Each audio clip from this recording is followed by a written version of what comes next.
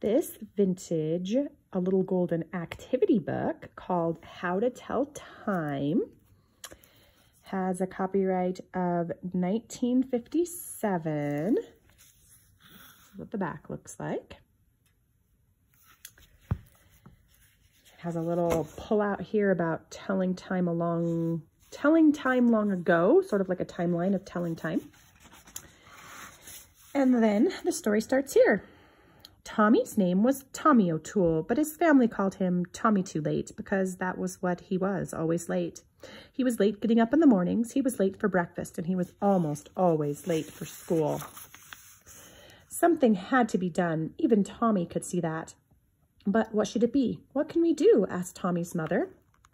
Well, said his father, we can turn his bed so the morning sun will shine on his face. People long ago used to tell time by the sun and its shadows. Maybe that will wake him up.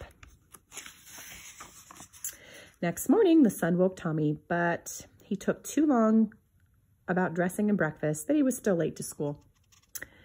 We'll try an old-fashioned sand glass, said his father. People long ago used to time their work by the sand slipping through.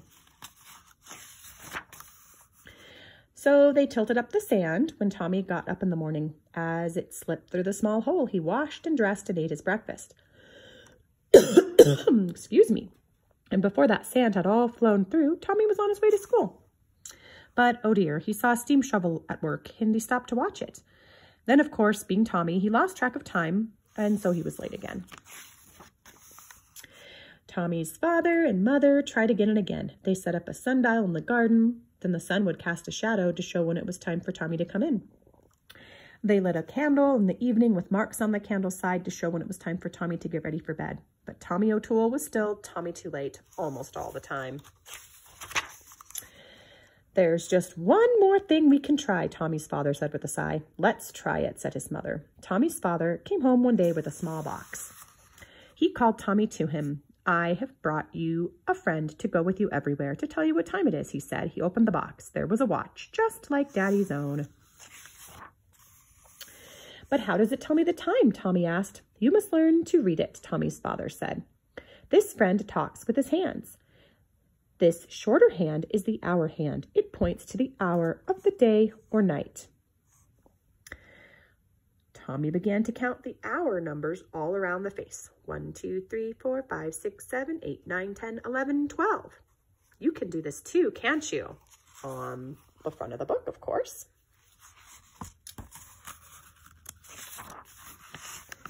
This is getting up time in the morning, said Tommy's father. Seven o'clock, read Tommy. I get up at seven. This is leave for school time, said Tommy's father. Eight o'clock, read Tommy. I leave for school at eight.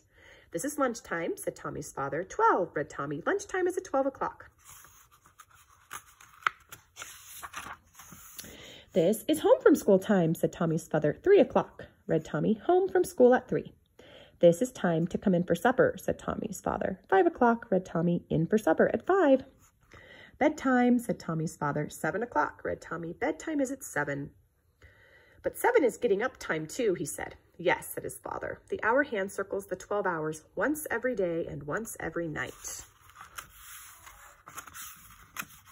Oops, what about the other hand, asked Tommy. The longer hand on your watch is the minute hand. The minute it tells are very short, so it circles the watch face every hour. It starts from the top.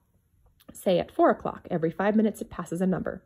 When the minute hand is on 3, it is 15 past 4 or quarter past 4. At half past 4, the minute hand is down at the bottom halfway around. The minute hand circles back toward the top. When it is on 9, it is 15 minutes to 5 and a quarter to 5. When it reaches the top, an hour has passed. It is 5 o'clock then. 4 o'clock is haircut time today, said Tommy's father, so Tommy sets the hands at 4 o'clock. 10 o'clock is recess time at school, said Tommy's father, so Tommy set the hands at 10 o'clock. 11 o'clock is time for a swim in the pool, said Tommy's father, so Tommy set the hands at 11 o'clock. A watch will be your good friend always if you take good care of it, said Tommy's father.